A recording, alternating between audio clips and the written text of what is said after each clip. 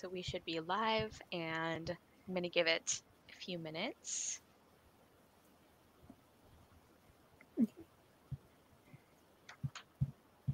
I still haven't seen any official announcement about Unraveller like getting pushed back. Um I don't know, I guess I kept expecting like the publisher to be like to make an announcement, but yeah, I guess it's not like a high profile enough I guess release. yeah. like they don't even bother to tell us that it's not coming out until like next year, I guess. Um I mean, all the all the book websites are like showing it coming out next year, but there's no, um, and like Goodreads, I think, has it shows that it's coming out next year, but there's been like no official word. I'm like, I guess this is what's happening.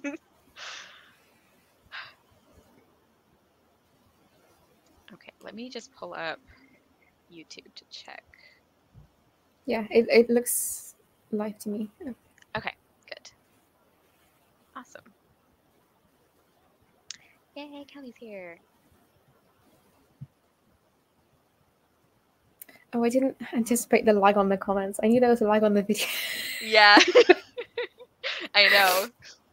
It's like you have to you have to like stagger the windows like perfectly so that it doesn't like bug you for the whole live show.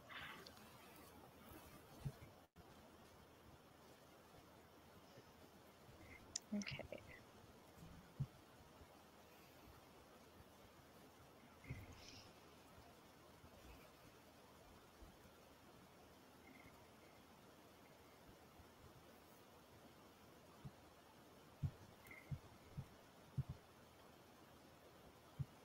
Oh, I should probably say on Twitter that we have officially gone live. I always forget to do that part for some reason.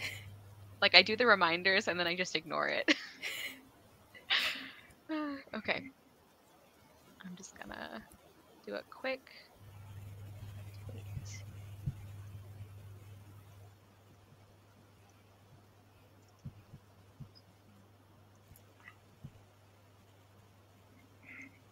That is way too many exclamation points, but I'm committed. We're excited. yes, we are. Okay.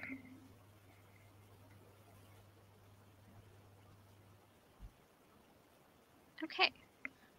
So I think, let's see, we have, we're like a few minutes in. So I think we can kind of start doing the introductory stuff. And um, like we were saying before we went live. I think this book, um,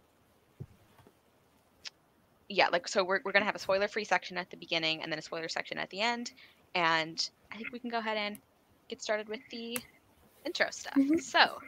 Um, hello, everybody. Welcome. Whether you are watching this live or the playback, I know that um, some people are planning to watch the playback. And um, this is obviously our first live show for the Frances Hardinge read along. Um, and our first book is Fly By Night. This is the only book that is in a series. Um, so we're going to be reading the sequel next month. That's the only one that we're reading out of publication order. Um, and this like read along is pretty self-explanatory but basically me and hannah have loved frances Hardinge for a long time and we have wanted an excuse to talk about her and share her with more people and to finally finish reading all of her books um, so that's what we're doing and we're doing one book per month um, the most recent or the upcoming release from her, it looks like that one is getting pushed back. Um, so we will we will do some kind of adjustment as we get closer to that, but that wouldn't have been happening until um, like the middle of next year anyway. So, but just in case you were wondering about that, we have noticed. so we'll have to like um, kind of adjust that. But yeah, so this is our first live show. We're going to start off with some introductions. So um, Hannah, would you like to go first? Just talk a little bit about um, what you like, the kinds of things that you do on your blog, kind of kinds of books you like to read, and um, your experience with Frances Hardinge. Obviously, we both love her, but if you have anything to add to that. Yeah. Um, hi, everyone. I am Hannah. I blog primarily at Linh Hermione. Um, I read a pretty good mix of things, um, but with sort of an extra splash of fantasy um, although less so recently. Um, and I, so I first discovered I first read Fly By Night when I was probably seven, I think, um, and I hated it. Did not. I just.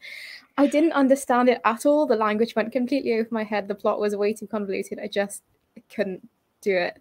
Um, but then I read uh, a few of her other books when I was a teenager and really, really loved them. Um, and then kind of got into her from there. And I've read about half of her books now. So quite a few of these will be new to me as we go through the life, the read along. Um, yeah. So this is, I tried to read Fly By Night again last year, but again, like it's very complicated. And at the start of the pandemic, I was not in a brain space to be able to read that. Um, yeah. So this is my second time reading it in full. Okay. Um, oh, and by the way, Hannah is already linked in the description box, but I will need to add your Instagram because for some reason I didn't think to put that in there. She has lovely Bookstagram photos that I can sometimes like Instagram. If you don't have an account, it lets you kind of look at things. So, um, but I can I can tell that she's very talented at that as well. Mm, well, um, I don't know about that, but thank you. Your your photos are very pretty. I don't know if you're talking about. Um, Okay, hi everyone. So my name is Kara. Obviously, you know my channel since you're here, um, but it's Wilde Book Garden. And I should have mentioned this when we were talking about the project, but all of the live shows will be hosted on my channel just for ease of use. But I'm not going to be running the discussion for all of them. Me and Hannah have split them. Um, so just a note on that. And yeah, like I obviously also really love Frances Hardinge. Um, I have read this book once before, and it was a few years ago. And I remember really liking it at the time, um, but I remembered very little of the actual story. Like there were some specific things that like really stood out to me, and then the rest of it I had like no idea. um, I really didn't remember a lot of like the the plot of this one. Um, so this was like a really interesting experience because it was kind of like reading some parts for the first time. Um, yeah, and as far as how this stacks up with other books by this author, which like Hannah, you kind of talked about too. I don't think this is my favorite of hers, but I still think it's a really interesting book and like I, I enjoyed reading it again. Um, and obviously really excited to discuss it. And as for like other books I talk about on my channel, I'm doing this all out of order. Um, but I read a lot of everything pretty much. Um, a lot of fantasy and historical fiction, but I also read contemporary and nonfiction. Um, I read all over the age range map. That is something that is very important to me. And yeah, I think that's I think that'll do it for intros. Um, okay, so before we get into the spoiler free section, I do want to give a quick content note. Um, I'm going to mention only the things that I think could come up in discussion.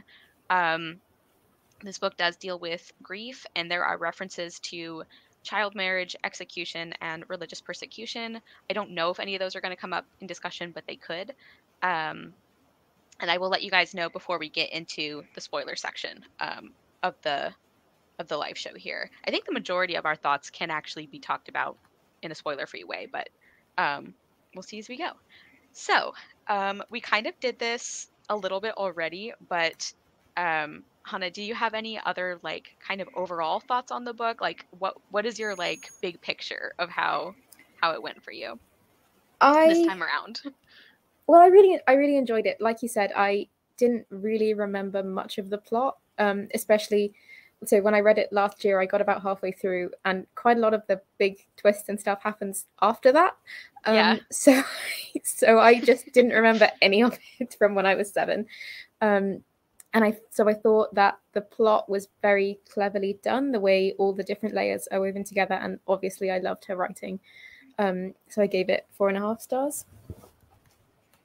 Yeah, yeah. Um, very similarly, I am just very impressed at the, the like the craftsmanship of the story and the plot and how everything fits together in really clever ways. Um, for me, I think like there were some things about the ending some things I really liked and some things I didn't find as satisfying. Um, I think I'm at like a four stars for this one, but I don't know. It, it, might be closer to a four and a half. Like I just love her writing so much that even if aspects of the story don't land for me as well, it's just like a very enjoyable reading experience. Um, so yeah, I, I really liked this one as well. And as we've been saying, like it was just a very interesting experience to know that I was rereading something but have like no idea what was going to happen in some ways. Um outside of a couple of things and like not even like I remembered some of the big things, but then there were also just like weirdly specific details that like I remembered very clearly. So um, that was an interesting time. Um, let's go ahead and talk about our well, I was gonna say two main characters. I think Mosca is like the actual Mm-hmm. Um, but how did we feel about Mosca Mye as our main character? I I really love Mosca. I thought um I thought she was very um realistically done in the way that she trying not to spoil anything like the kind of emotional or moral arc I guess um in terms of the things that she did and the turning point for her um and like the way she kind of came into herself over the course of the book I thought was um really lovely.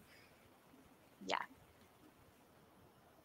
Yeah, I really liked her too. Um, and I, I just think she's very, like you were saying, very believable. I think Frances Hardinge does a really good job of writing kids that feel like kids, but who have been through a lot and how you can see that, how that has affected them. Um, I, yeah, I think I think her emotional, like you said, her emotional and moral arc was really lovely, and um, I really like that we see her.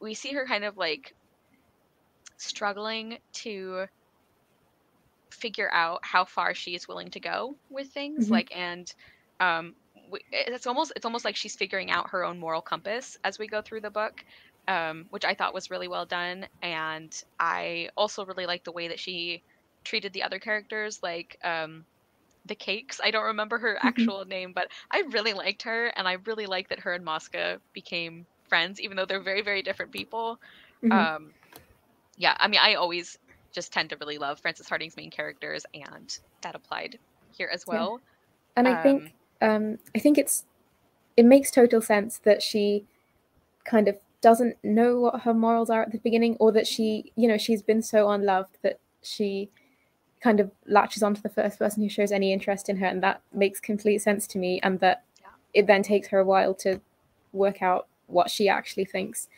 Um, Yeah. And I thought also what you were talking about about um, children's characters. There's a throwaway line towards the end where um, she's surprised that Miss Kitely sees her as a child. yeah Um, and I just like, I felt that. yeah. She's like a very old soul in a lot of ways but um yeah. I think i think she's very well written. Um and she's only like 12 or 13 so the fact like you were saying the fact that she has so much like she's she's figuring things out you know? She's figuring out what her beliefs are and like where she stands and what she's willing to sacrifice and um it all felt very natural to me.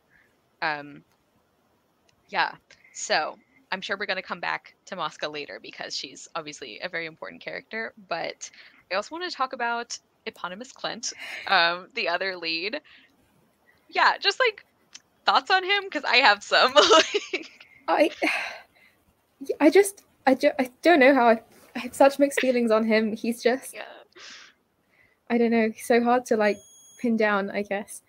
Um, he, yeah, I, I guess he's he's interesting because in a similar way to Mosca, he also kind of has to work out his own moral compass. Um, although he hides it better. yes yes um, yeah, I don't know. I, like I'm struggling to verbalize what I feel about him. yeah um i i also have like very very mixed feelings on him um like he, he's a hard character to make up your mind about um Mhm. because he's one of those characters where i would have i would feel like i had figured out i had figured him out i like knew how i felt about him and then he'd do something else and i'm like wait Yeah, like you're, sure that he's, if not a villain, then like at least not a good person. But then he like just occasionally he'll do something Yeah. surprisingly nice. Yeah. Um, one thing that was really interesting that I like, I remembered from the first time I read this book, I liked his and Mosca's friendship. And this time around, I'm like halfway through the book. I'm like, they still hate each other. like, when are they gonna be friends? So I like I don't know. I think I had I think I had like um remembered them being more friendly to each other than they actually were. I don't know like how that happened, but I was expecting there to be I guess I guess I was expecting their friendship to be more of a straightforward like positive thing and it's not. Like there's a lot of um it's yeah if it's a friendship it's a very antagonistic one. Yeah i mean they're basically double crossing each other for three quarters of the book like. Yeah. Yeah i'm, I'm interested to see like where it goes in the second book yes in the sequel and we can talk about some specifics with them in our spoiler section but um because I, I think that that might also be interesting but yeah like they're definitely separately they are very dynamic and interesting characters and then together they are they're just very messy like um, but messy messy in a way that felt like good writing you know not mm-hmm. like it didn't feel like frances hardinge didn't know what she was doing or like what kind of character she was writing mm-hmm. it was like no like i i see why these two people would butt heads constantly like um also can, do we want to talk a little bit about saracen i hadn't initially put him down but i'm like we got to talk about the goose sidekick. like, yeah, my notes say Saracen in all caps with about five exclamation marks. That's it. Um, he like he was great. He was a, I mean, full character in his own right. Like, yeah. I saw I saw one of the um, I think it was a review for this book. It might have been for the sequel. I don't remember. But somebody was talking about how Hardinge always writes animal characters that are fun but still feel like actual animals, um, which I think Saracen is a great example of. Like, I mean, I, I don't have a goose, but this like lines up perfectly with everything I have ever heard about geese. like, um, yeah, no, he he was such a he was such a fun character, um, and very yeah, very like goose like, but also I don't know how to explain it except that I agree with that reviewer. Is like he feels like an animal, but he also feels like like some like an animal who has personality, which like those of us who have pets, like you know, they do they do have personalities.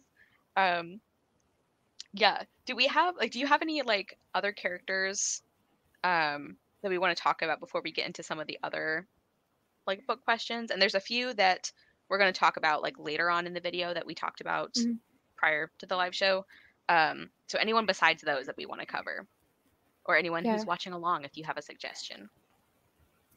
Yeah, I didn't. I thought like all of the side characters were very well drawn. They all felt believable. Um, I think any of my thoughts on them will be quite spoilery.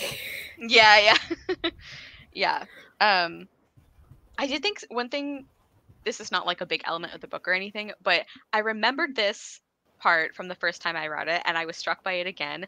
I find it very weird how people keep assuming that Clint and Mosca are married. Um, like, I, I know that in, this world, apparently, like sometimes people get married very young, but I thought that was like a weird detail. Like, there was the um, the guy who owns the marriage house that they stay at. Like, I, I don't know. He I I wasn't disliking him as a character, and then he kept bringing that up, and I'm like, you're mm, like a little uncomfortable. So I don't have any specific thoughts about that part. I just thought that was like interesting. I think it does do something to set up the world, though, which is mm. you know helpful. Okay, so um, let's talk about the writing because I know that is one of both of our favorite things about her books. Um, just kind of like overall thoughts like h- how would you characterize her writing style? It, which i know is hard. Yeah i didn't it's just very i don't know like, dynamic i guess or like it's just um i have a quote that i pulled out um that's non-spoilery um just that okay the path was a, stru- was, a, was a troublesome, fretful thing. It worried that it was missing a view of the opposite hills and insisted on climbing for a better look. Then it found the breeze uncommonly chill and ducked back among the trees. It suddenly thought it had forgotten something and doubled back, then realized that it hadn't and turned about again. At last it struggled free of the pines, plumped itself down by the riverside, complained of its aching stones, and refused to go any further. A sensible, well trodden track took over. It's just like everything in her world feels alive. I don't know how else to describe it. Yeah. Yeah, I think I think that's a really lovely way to describe it. Um, she just she's so good at like writing that is whimsical but is also grounded.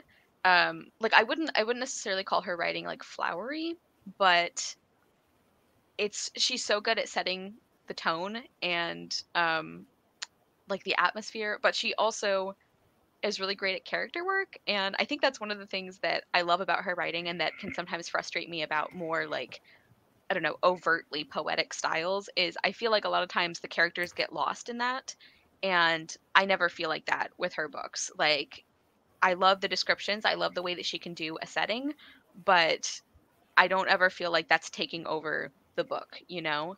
Um and yeah it's very it's very like playful writing but then there's also always a lot of darkness in her books too like i just think she's really good at like balancing things like that. Um and that was a great Yeah. quote i had noticed that one as well i was like this is very indicative of what she does like Yeah, I feel like like it, it is very descriptive, but all of the description and all of the like metaphors and such, they're all for a purpose, and they all Mhm. like, you know, it's not just there to be. Sometimes flowery writing feels like it's trying too hard, or like it's just there for the per like for its own sake. Whereas here, like every character description really actually adds something. Yeah. Yeah, like nothing is wasted. And so even when you get kind of a longer passage about um about like what a setting looks like or about like what a character is doing it like it contributes to the story so it doesn't feel overdone. Um Mhm.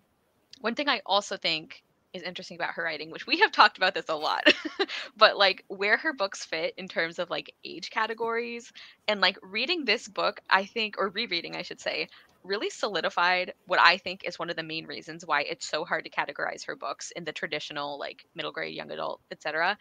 I think it's because that like rigid system is really not set up for books that write characters of all ages with like equal importance. You know, like if you're reading a middle grade or young adult book, this the assumption is like a lot of the good ones obviously don't do this, but the assumption is that the younger characters are going to be the really fleshed out ones, and then the adult characters you might have one or two who are yeah, important that's a really good point. but for the most part they're like supporting and then if you read an adult book the assumption is that it's about the adults and then occasionally there'll be a kid there to like make something happen um whereas like frances hardinge's books like mosca mye is the main character but then we also have eponymous clint and then we also get some sections where we get perspectives from like completely different characters like the cakes um who's I- who's like a few years older than mosca and like we get the same level of detail and care no matter who we're following and like characters like characters of all ages are like equally active in the story. Like obviously mosca does a lot more of the plot stuff than like some of the supporting characters but it does it doesn't ever feel like the other characters are there as like an afterthought or to like just support her you know? Hmm um so that that was one thing that i like i think this time around i was like that's one of the things that i think makes this book hard to do like or hard to label i guess. Yeah, no, I, I hadn't thought about that, but that is a really good point. It is. That that's definitely a factor. Um, but I just like in in terms of age category, like it, I know it.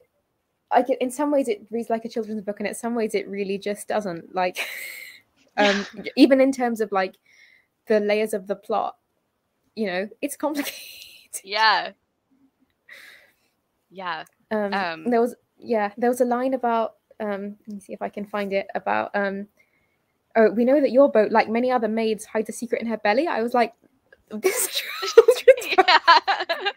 yeah, some things that the target audience might not pick up on until later. um, yeah, and I think like this goes back to um, how so many of those labels are. I don't not not probability. What am I trying to say? It's like there you have to generalize, and I get that because otherwise the labels wouldn't be helpful. But I feel like there's so many exceptions to them that I don't know that they're really helping anymore. Um, and I feel like Frances Hardinge is a great example of that because I mean, like kids' books can handle really heavy topics, and they frequently do. And like in real life, kids have to deal with stuff like that. Um, but I think there are things about the way her books are written that just make it very hard to pin them down, which I think is one of the reasons I love them. Because like I've noticed that a lot of books I love tend to be very hard to like pin down and as far as like who the intended audience is. Um, and like her books get shelved all over the place. Like sometimes they're with children, sometimes they're with young adult, sometimes they're just with like general fiction. Like it's just nobody knows what to do with her books. like, hmm yeah, Yeah, and Which- I, I, th- I this I think we'll well we'll see more I guess as we go along with the read along. But I, I this felt less like a children's book than some of her other ones, so I'm interested to track that. I guess. yeah, yeah. Um, I know that she, like on her website and in everything I've seen from her, she like describes herself as a children's author. Um, and I know she's won like children's book prizes, but yeah, like I, I don't know how much of it is just our assumptions of what children's books are supposed to read like. Yeah, um because i think that's definitely a factor but i also do think there are some things that um yeah just don't fit they don't fit neatly um which is kind of funny for this book because i think that's that like messiness is very like on brand for like the kind of the themes and the discussions of this book um okay yeah any other thoughts on like the writing or yeah, I guess that's what we were talking about mainly is like the writing. and we are going to share quotes later too. Yeah. So Yeah, no. I think, yeah, I think that well with the writing as well. Like in some places, it's it's really descriptive. Um, like with that quote I read about the path, and in some places, she also does a really good job of like using one sentence to it really like, especially with some of the settings, um, like you really instantly knew exactly what she was talking about, exactly what this place was like, just through one sentence. Um, I think it's really like impressive that she's able to do both of those things. yes, I agree. Yeah, it's like she's really good at knowing what's going to serve the story best. Um, and actually, maybe I should just share this quote now because it's a perfect example of what we were talking about. Um, let's see if I can find it. Yeah. Okay. So somebody is asking Mosca, like, why of all the people you could have taken up with, why eponymous Clint? And this is like in her, in her head because I'd been hoarding words for years, buying them from peddlers and carving them secretly onto bits of bark so I wouldn't forget them. And then he turned up using words like epiphany and amaranth because I heard him talking in the marketplace, laying out sentences like a merchant rolling out rich silks. Because he made words and ideas dance like flames, and something that was damp and dying came alive in my mind, the way it hadn't since they burned my father's books. Because he walked into Chough with stories from exciting places tangled around him like maypole streamers. Mosca shrugged. He's got away with words. Yeah, I've marked that one too. yeah like i just think that's a really great example like she can have these really beautiful and like evocative passages and then when it just needs a punchy sentence she will give you that. Um which i also think like that's a great like establishing character for like both of them. Okay. So um i think it makes sense to kind of talk about the setting and the plot together. Um avoiding spoilers of course because there's a lot going on here. um, so the setting is called The Fractured Realms, and it says in the back of the book that she was like it's very very loosely inspired by England at like certain periods of history, um, which I think definitely makes sense after finishing the book. Um, yeah, but there's there's a lot of backstory. This is like a world that is very much like still recovering from multiple different conflicts um, and power struggles. So, I guess just like general vague question, um, like how did how did you feel about the way that the setting and the plot kind of came together? Because I know we kind of talked about how it, can be very confusing. Like there were several sections that I like went back over and I was like, oh okay, this is the group of people they're talking about now. Um, yeah. So any thoughts on that? Yeah, I thought, um, yeah, it is. It's definitely a book you have to read with your brain switched on, like, um, and it like it takes me. It took me longer to read than a book of its length usually would, um, which isn't necessarily a bad thing. Um, um, but I thought that the setting was really well done. I liked how um, it was like Britain, but just slightly sideways. Um, there was that there was a lot. I can't I was just looking for it and I couldn't find it, but somewhere in the history there was it was like the English Civil War and then it was, when Charles II would have come in that he like died off in France instead, and that's when everything changed. And I just thought that was an interesting way of like tying it to history and also like making up this complete fantasy world. Yeah, yeah, um, and I think that all of the different factions and um, like all the different groups of people who are fighting over like control of this world. Like i think that like the, the general atmosphere of the book i think she did a really great job of showing how this wears on ordinary people. Like people just going about their everyday lives and like the like the suffering and like the trauma like we hear about some of the really horrible things that happened not very far in the past um like there's that scene where Mosca goes to the plumery for the first time that I had forgotten about, and then when I got to that part, I was like, oh. Um, so I think I think I think what I'm getting at is she does a really good job of making all of that history and all of that like you know suffering feel very present in this story. Like this world is not far removed from that, um, and I think that helps explain why some of these like squabbling factions are so desperate to like be the ones in charge. Like not that not that that excuses what they do, but I think that's like an interesting um explanation for like their motives i guess mm-hmm. well i think there's that but there's also like the idea that life goes on mm-hmm. um and like regardless of who's in charge or what's happening like even though they've been through all of this trauma like the lives of ordinary people just continue because like what else can you do yeah there's that line where it's like near the end where Mosca um she sees people like coming out of their houses after like something big has happened and she thinks about how like when there's danger people will hide but if you wait a little while they'll come out and start selling each other potatoes again. That's exactly the line I was thinking of, yeah. yeah, yeah, I think both of those things are are present here. Yeah. Or they make a very good balance. There's a lot about um I guess there's a lot about balance in this book. Okay. Yeah. Um, yeah, Ke- Kelly's saying as well, which um, I think in my edition, the breakdown of the groups is at the beginning, um, oh. which is interesting. Um, which is maybe an easier way to go yeah. it. Yeah, Kelly, yeah, she's saying there's a lot of world building in the beginning, which is why it took me quite a while to get back into the book. Yeah, okay, my edition also has the breakdown in the back, which I Mine think has it at the in... Yeah. Yeah, mine had it before the prelude, which I think is probably helpful. Yeah. yeah, and it, it wasn't until it wasn't until um I was partway through the book that I even thought to check um for like a uh oh cuz my my edition also has like um an excerpt from a face like glass and i guess i assumed that's what like the extra pages were and then i eventually looked back there i was like oh there's like explanations for things.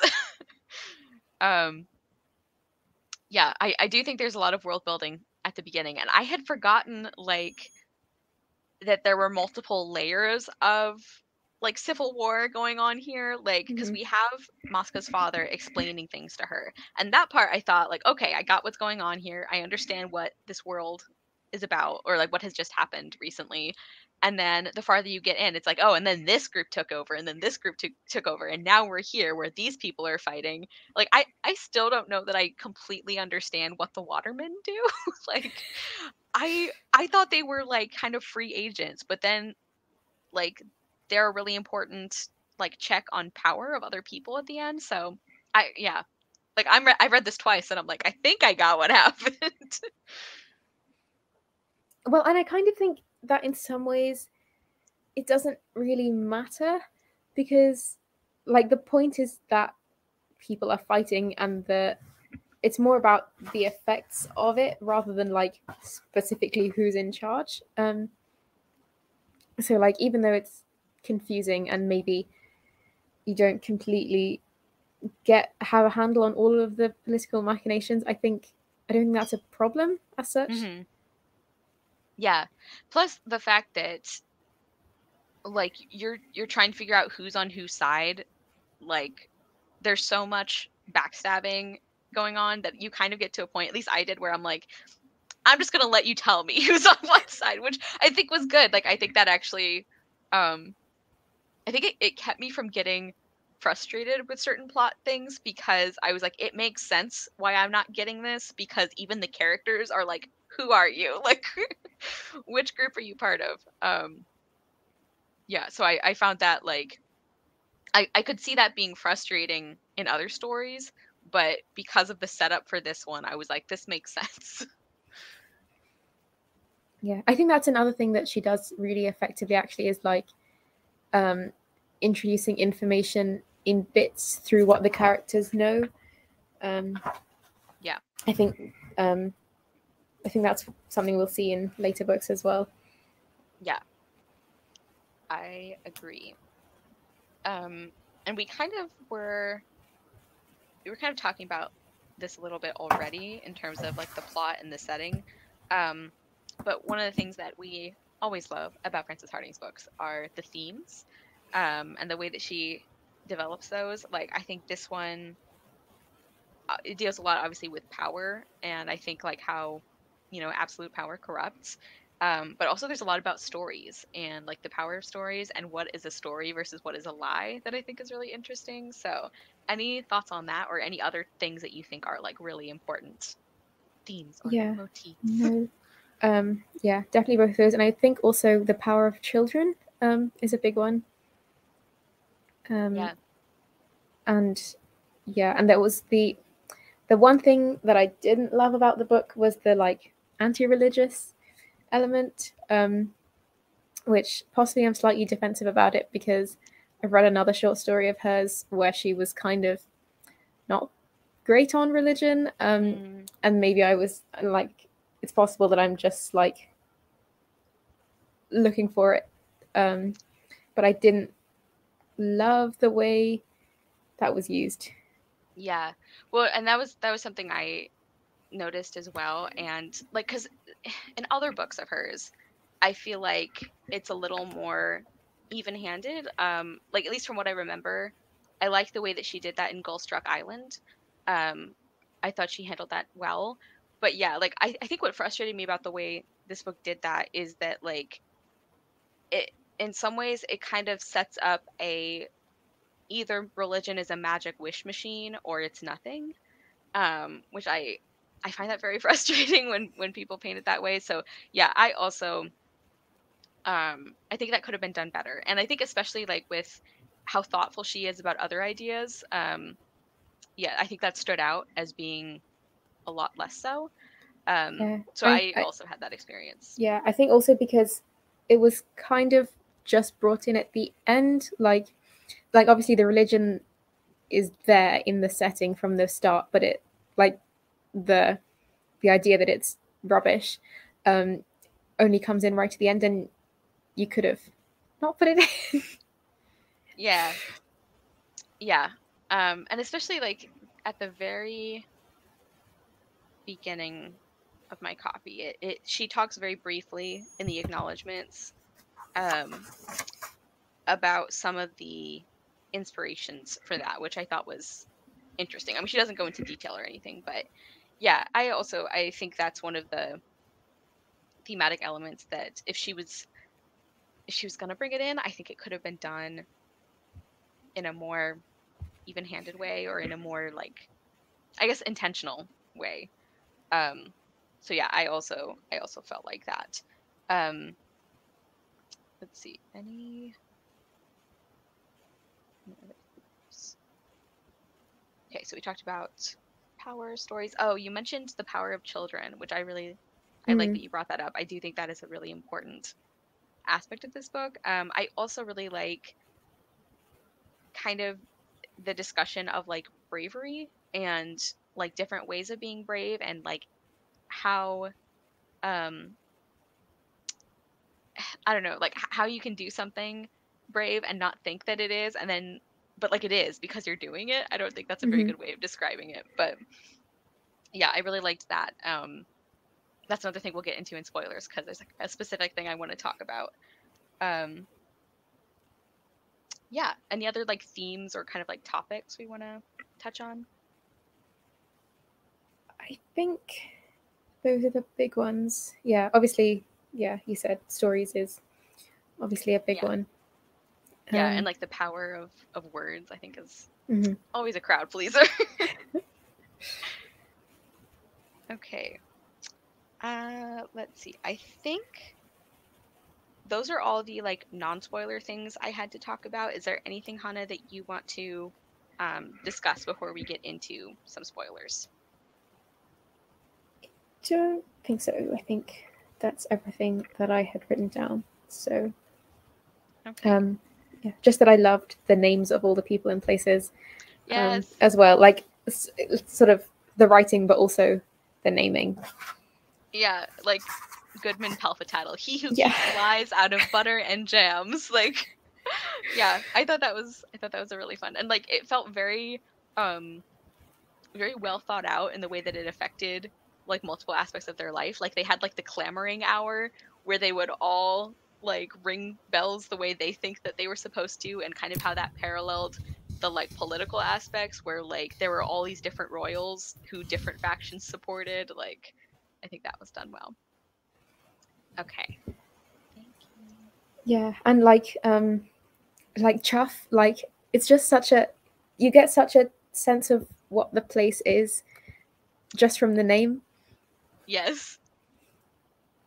Yeah. Um, because we start out, we have like the prologue, and then we have the introduction to Chough, and right away I was like, "Yep, I love her writing. Like this is just like so good. Like it just talks about how everyone's like, I might have even, it might have even been a specific part. Yeah, Chough could be found by straying as far as possible from anywhere comfortable or significant and following the smell of damp.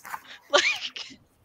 That's hilarious, but it's also such a great way to set up this town that like Yeah, and then and then on the same page, Chough itself was more a tumble than a town. The houses scattered down the incline as if stranded there after a violent flood. It's just, you know, it's just two sentences. That's what I meant before about how like she doesn't need many words to describe things sometimes.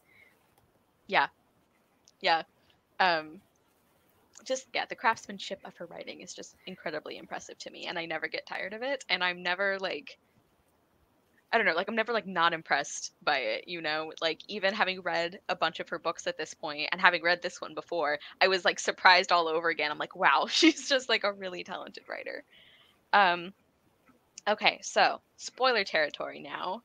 Um basically all of my spoiler thoughts are about the, like three characters lady tamarind lyndon kohlrabi and captain blythe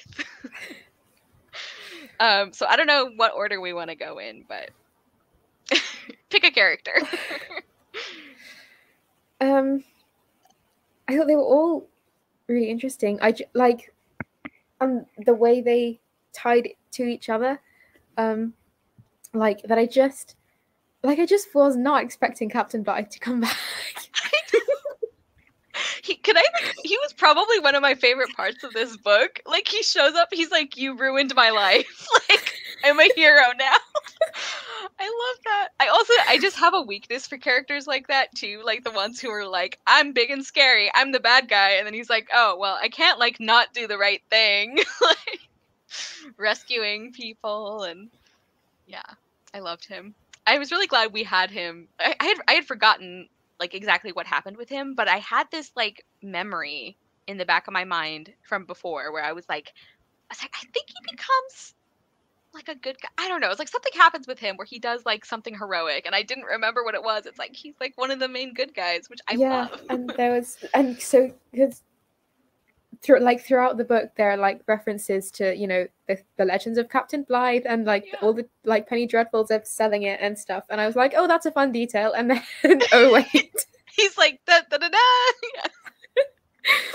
Yeah. yeah, uh, when he's when he's talking about like how it happened and um oh he talks about he's like there's this there's this man who was like bullying these two young women and he was like well i wasn't just gonna like let him do that so i show up and i help them he's like he's like i couldn't get their arms off me he's like that part wasn't so bad but like he's such a fun character. And then okay, wait. I think I actually I keep forgetting that I have quotes for things. Um maybe I took a picture of it.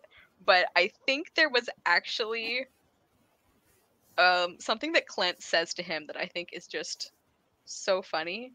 Oh, okay. So he's talking about how like now he fell in love with Miss Kitely, so he's like invested in multiple ways.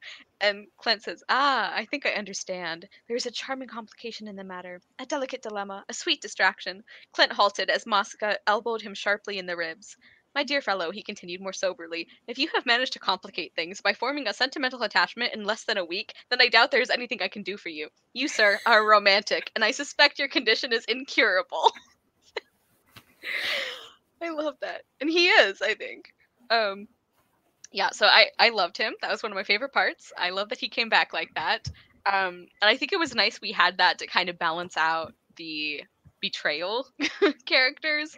Um cuz something I've noticed with Frances Hardinge's books is I am really not good at pick like figuring out um hmm like alliances or what's the word? I had a word I was thinking of allegiances like who's going to be on what side. I'm normally very good at predicting things in books and i just cannot do that with hers. Like i always seem to like the character that's the twist bad guy like i i was really sad. I remember being really sad when we find out lyndon kohlrabi is who he is and i remembered that um from the first time i read it so i knew not to get attached this time but i was still like the whole time i was like so disappointed. I was like i liked you. I know. Yeah, and it, especially because it's so close to the end. Like I vaguely remembered that Lady Tamarind was untrustworthy, um, Yeah. but Kohlrabi I didn't call it at all. yeah And he, you know, he, like because everyone that Mosca meets is horrible to her, basically, apart from him. Uh, I so know. nice, and then Yeah. Yeah. Um I remember like I also remembered that Lady Tamarind was bad, but I also remembered that I really liked her. Like I don't think I I don't think I predicted either of them the first time I read this book. Um and I still even like knowing what she does. I didn't remember all the bad things she did. Um or like exactly what her motivations were. But I, I knew she was like one of the bad guys. But even knowing that and reading it this time, I'm like, man, she's such a cool character though. Like she's so interesting and well written and like I love how Mosca is kind of like dazzled by her a little bit because I also was. I was like, she's just so interesting. Like she's one of um she's one of those few like villainous characters where I'm like I don't know, not enchanted by her, but I I'm like I get why I get why she's compelling, you know? Mhm. Um I guess I shouldn't say few because that does happen sometimes, but in general I'm not like a villain person so much anymore. Um or or I'm very picky about them, but yeah, just like Lady Tamarind, I just I think she's fascinating. Mhm. And I also think it's so clever the way she's introduced because there's that whole bit um, with the crocodile and how the locksmiths have been trying to get in. So you're like, oh, so obviously she's good and locksmiths are bad. But then, oh no. yeah. Whoops. Yeah. twist. Yeah. like every time I pick up one of one of her books, I have to be like, trust no one, but it never works. I always I know. Um let's see.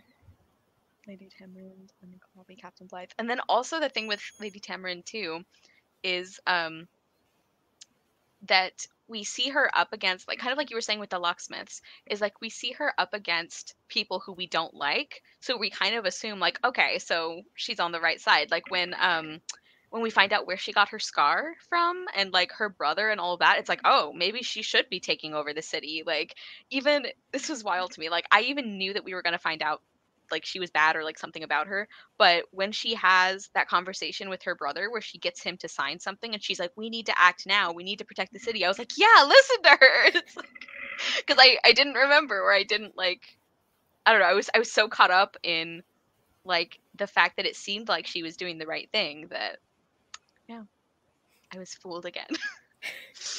Um or I don't even know if it was that I was fooled or if I was just like so invested in it, you know, that I didn't stop to think about like, well, wait, if I know that we find out she's bad later, probably shouldn't be rooting for her in this scene. Um Yeah, there's actually like I'm kind of just sharing all my quotes ahead of time, so feel free to do the same. Yeah, I Um, have many quotes. I'm not going to run out of quotes. cool. One of my favorite ones, and this one, like we have discussed how I am very bad at quotes, and I never remember them. But I had remembered this quote for the like three or four years since I had first read the book. Like I didn't remember it word for word, but I remembered like what it was about and like the general idea. Um, it's sadly it's from Lyndon Kohlrabi, um, but he's talking about Lady Tamarind seeing something of herself kind of in Mosca, and that's like the way she treats her the way she does. Um, and he says, I think that when he has this whole description, and then he says, I think that when Lady Tamarind looks at you, she feels as the cathedral might if it suddenly remembered that once it had been a grim little church facing down musket fire and a cruel sea wind. I like, I love that description. Like, I uh, clearly I remembered it for like three and a half years or something. Yeah, just I, I don't know. Is it is it like the aesthetic of Lady Tamarind as a character that I find so interesting? I don't know. like even the Mhm. way other characters talk about her like they um like somebody says that she she i think it might be clent says she wears her scar like a crown or something like just Mhm. she's so interesting Yeah, and the way that like all the ladies in the city dress up as her, um, it's like the it's just her whole aura of yeah yep she's a very interesting character and i just i find it i guess um partly because i also fell under lady tamarind's spell a little bit but i find that so like believable why mosca would be so caught up in her atmosphere i don't know like in in her whole like aura and um like why she would why she would think about her the way she does and why she would like like it talks about how she used to want to like go to school and that was like her dream and now her dream is to like it's like a means to an end like she wants to go to school so that she can work for lady tamarind and she has that mm-hmm. vision of like herself coming in to a ballroom and it's like i just it all felt very believable i'm like yes like this is how I was gonna say how a kid, but like obviously we do it too. like it just like she captures the imagination, and I think that like the book shows that like beautifully.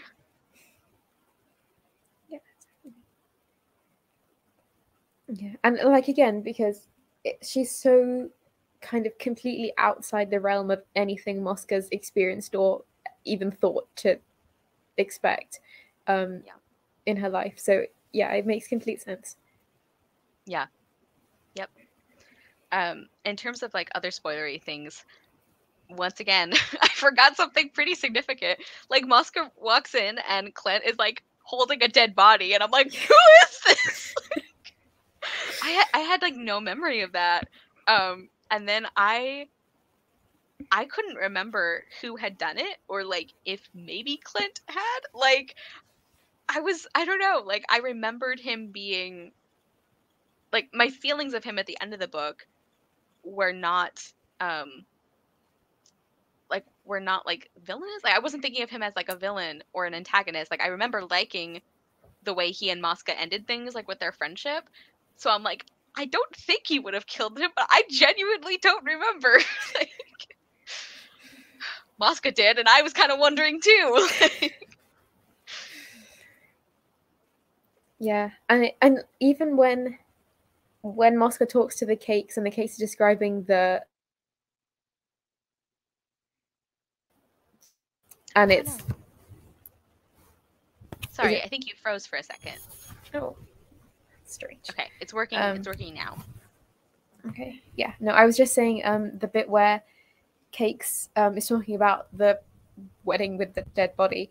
Um the and like it's completely the description of kohlrabi and you're so but you're just so like not looking for it and just you just don't see it even though it should be so obvious at that point.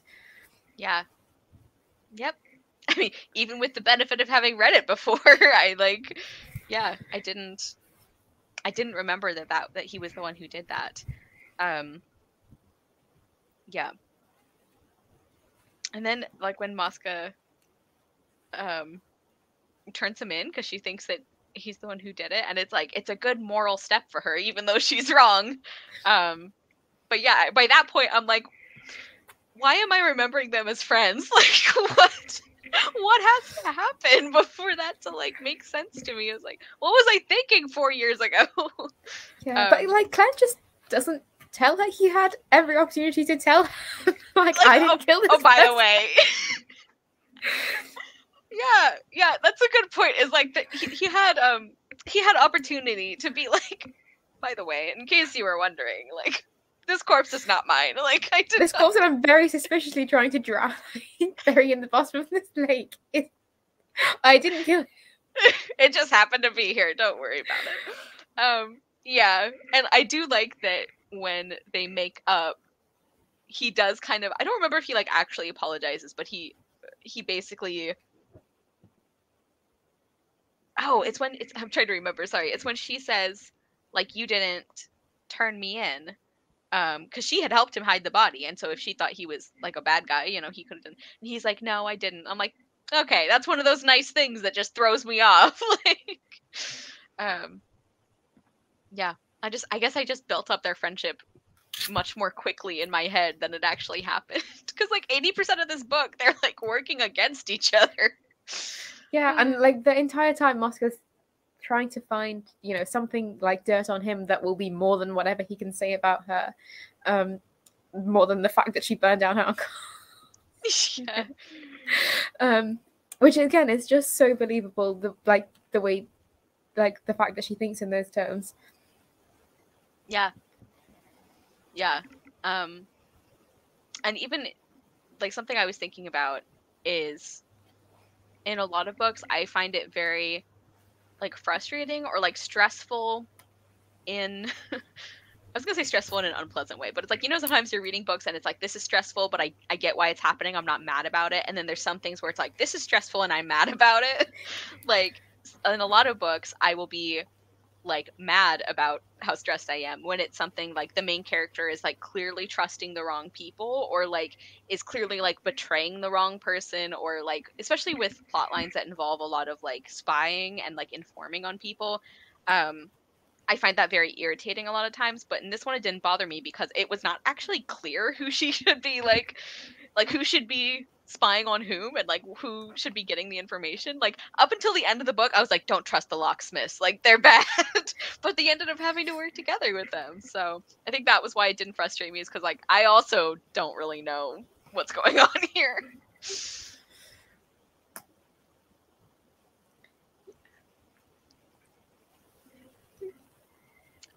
Okay. So, should we just get into the rest of our quotes then? Because I um, I was gonna say um yes character that you didn't have on your list, but um Hopewood Pertelles. Oh yeah, he was a sweetie. He yeah, I just again I just have such mixed feelings about him because they were like, "Are you running the secret printing press?" And he's like, "Well, so what if I am?" And he wasn't like. I just say you're not doing. His confidence was very misplaced. Like like there's there's a time to be cocky and this is not it like yeah and then i couldn't remember oh, see this is like she's such a smart writer because like i had this like feeling about um well like i remembered kohlrabi being bad even though he seems very nice and i was like is pertelles bad too? I was like did i forget? Like is he is he like working together with the bad guys? And like he was not and like there's that part where um somebody's telling Mosca about how he's been arrested and he's like like for all these things that he's supposed to have done. And oh basically that he was like a violent radical and that he was you know going to bring down ruin on everyone. And Mosca's just like um he tries to stick snails back together. I was like oh and that was the moment where I'm like no I think he's actually good. Like tries to rescue little snails. Yeah and yeah. I just I just love the scene um the whole scene um with the like secret school um but the you know the, where all the children like kidnap him off the street and then put him back. And then when he's leaving and there's a line that's like Mosca had never seen. The only person Mosca had ever seen cause so much chaos was Saracen. Like yes. And you kind of you kind of can't tell if it's intentional or not. Yeah. Yeah I know. I I, I also liked Hopewood Pertelles. He was he was lovely. Um, I was worried about him because clearly I was not remembering things from the book. I was like, I hope he doesn't actually get executed here. Like, I have no idea what's going to happen. Um, I also really loved that moment on the river where all the other boats like show up to help them. I always love things like that. I didn't remember though it was because Captain Blythe was the aboard. They're like, we couldn't let that happen to him. It's like so dramatic and romantic. Like, Yeah, I, I love the bit where um where they let Mosca down and the girls, what color are his eyes? Um, are they green? Like, yeah, def- they're definitely green. she's like, I couldn't disappoint them. Yeah. Oh, that was great. And I I love like all these like little moments with the with the supporting characters like the cakes and um Carmine I think is his name like the boy who who she likes and Mhm. who likes her which is also lovely cuz like she's been wanting to like be in love for so long and she like loves weddings but nobody would like want her so I love that she gets that happy ending but um when the ship gets fired on and it's like he like protects her and it's like he was still protecting her she must feel very safe indeed like he's just like holding her like on the floor and they're just like there for like 15 minutes. Like Mosca leaves to do something and comes back and they're still there. Uh, yeah. I liked carmine. I mean he was he was like a very minor character but i liked the um because he he was the one who who like stopped Mosca from getting to the school at first. So I like Mm. wasn't I wasn't sure how I was gonna feel about him. But then um when we saw him interacting with Cakes, which like I wish I remembered her name because they tell us like once, but I don't remember what it is. I think it starts with a D. Dormaline? Dormaline. I think it, yeah, I think it it? was. I mean, something I feel that. like I could just make up a collection of sounds and it would sound about right. Yeah, it would probably work. Yeah. Um, any other characters we want to talk about? I think those were the main ones. I liked um I liked caveat. Um Yeah. like she just she writes these characters that are just so endearing and I can't explain why and it, it's just he's so nervous all the time and I empathize like like the way he like breaks up his sentences. It's like why is that something that endears him to me? I don't know, but I don't want anything bad to happen to him.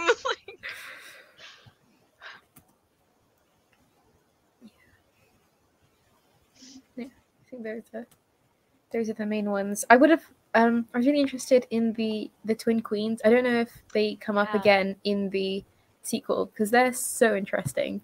yeah. Yeah, I also found I thought they were really intriguing characters. Um like we don't even see them, but they have like a very strong presence in the book because of like the Duke and everything.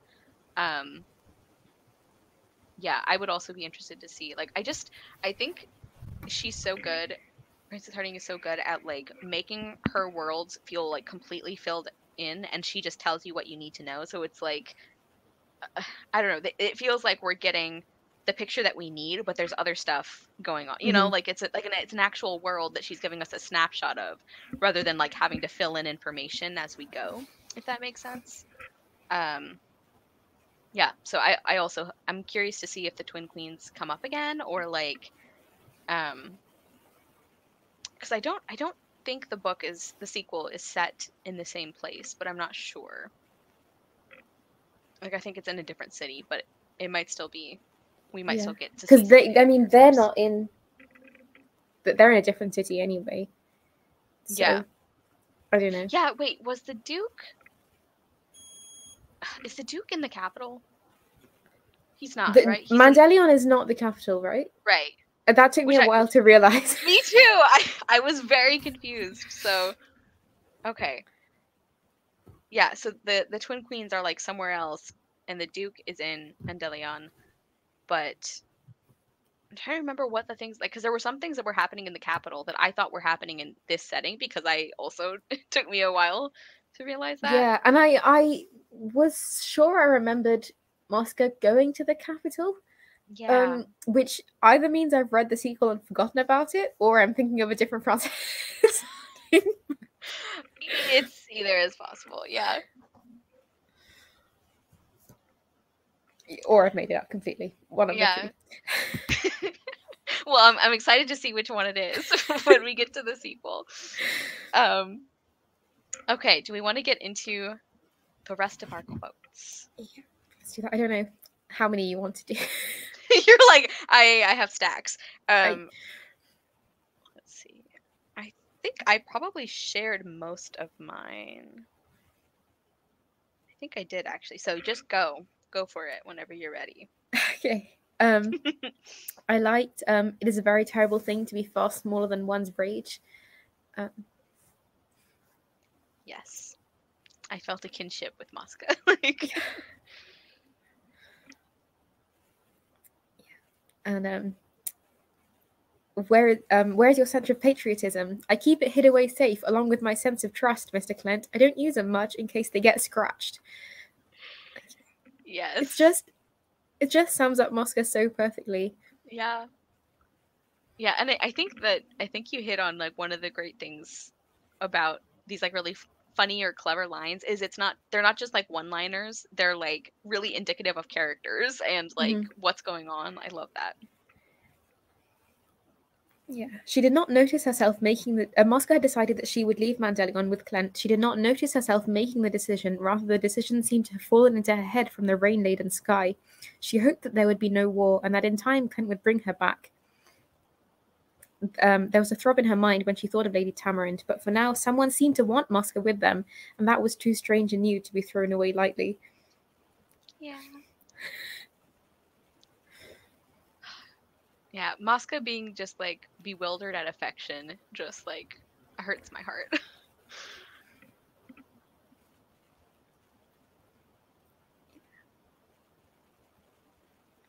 Perhaps the world has always been like this, Mosca thought as she pushed her way through the crowd, like a broken honeypot that looks whole, but just holds together because the shards are resting in place and are glued together with honey. You just need to prod it a bit, and it all starts oozing apart. Yep. Like, Know. Like, I think it's. Um, I think you've said before that um, it's metaphors that you wouldn't ever think to use, but once you've read them, you know exactly what they mean. Yeah. Yeah. Like she compares things to other things where it's like I have never heard someone do that before, but I I get it immediately whereas sometimes um well, like when we read Save Me the Waltz by Zelda Fitzgerald um last month, like there were just like word combinations that like made no sense. Like she would describe things in ways that were like I, I don't even know why you picked this word. Like it just it, it didn't create an image, it didn't create a feeling. It was just like word salad. Um Mhm. whereas yeah, like I think Frances Hardinge is great at like she she uses words creatively but in ways that still make sense. Yeah. I think those are all my quotes actually, so yeah, I think that's the main ones of mine.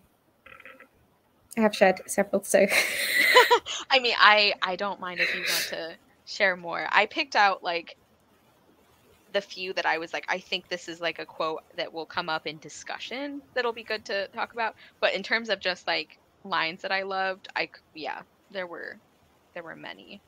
Um, Mm, there's the one about truth, but that's a long one. read it. read it anyway. Um, truth is dangerous. It topples palaces and kills kings. It stirs gentle men to rage and bids them take up arms.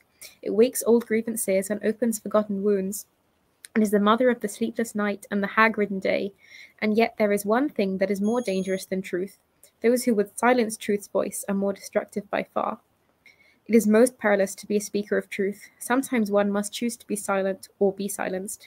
But if a truth cannot be spoken, it must at least be known. Even if you dare not speak truth to others, never lie to yourself. Yeah.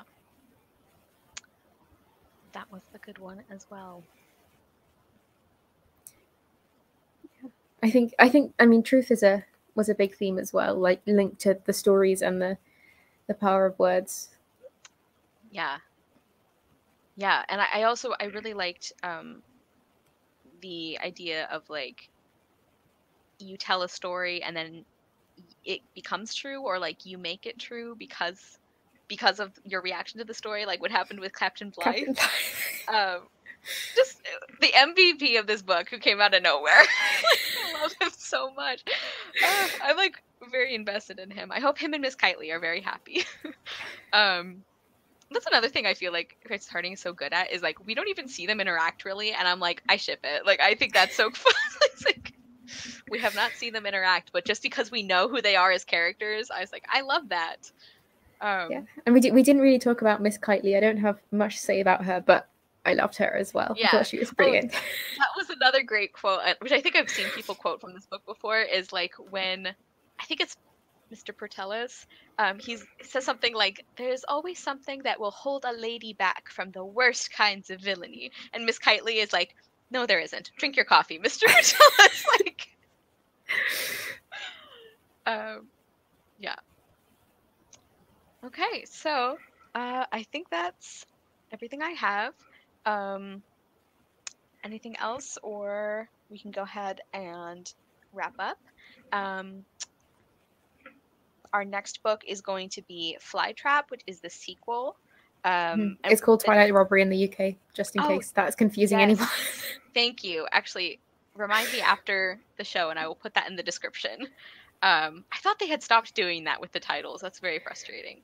Um, okay, so either Flytrap or Twilight Robbery. We are reading the sequel to this book, which like it is the only um, it's the only one we're reading out of publication order, and it's the only books that are in series um, that Frances Hardinge has done, and that will be sometime in October, like mid month.